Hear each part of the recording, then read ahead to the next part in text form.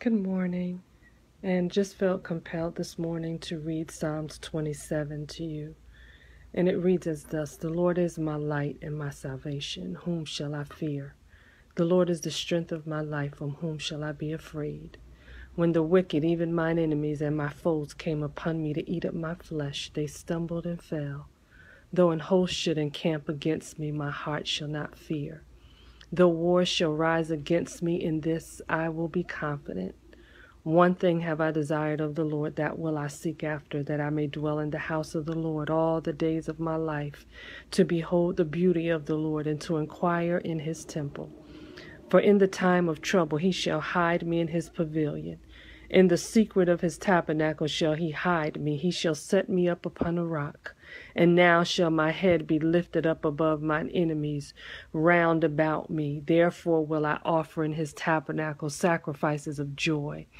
I will sing, yea, I will sing praises unto the Lord. Hear, O Lord, when I cry with my voice.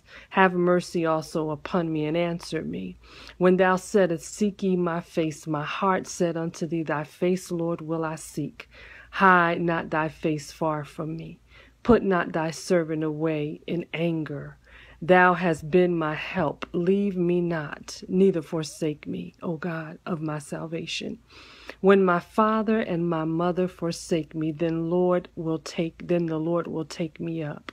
Teach me thy way, O Lord, and lead me in the plain path because of mine enemies. Deliver me not over into the will of mine enemies, for false witnesses are risen up against me, and such as breathe out cruelty. I had fainted unless I had believed to see the goodness of the Lord in the land of the living. Wait on the Lord, be of good courage, and he shall strengthen thine heart. Wait, I say, on the Lord. This is the word of the Lord. Thanks be unto God. Father, we thank you for your logos, your written word that you have so graciously left to guide and direct us as we walk throughout this earth.